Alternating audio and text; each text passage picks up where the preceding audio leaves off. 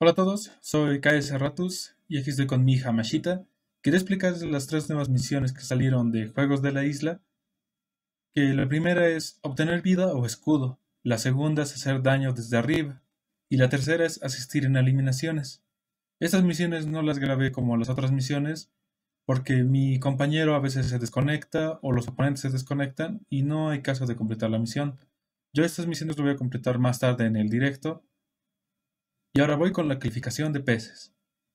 La calificación será de 5 salmones de plata. ¿Por qué? Las misiones estuvieron bastante fáciles, las épicas, pero estas otras tres misiones dependes mucho de tu aliado o si no tienes un amigo se te hace un, un cacho difícil porque no coordinan bien o se desconecta y ocurren ese tipo de problemas. En fin, me despido, espero que tengan suerte en todas sus partidas y espero que nos vemos en el directo. Hasta pronto.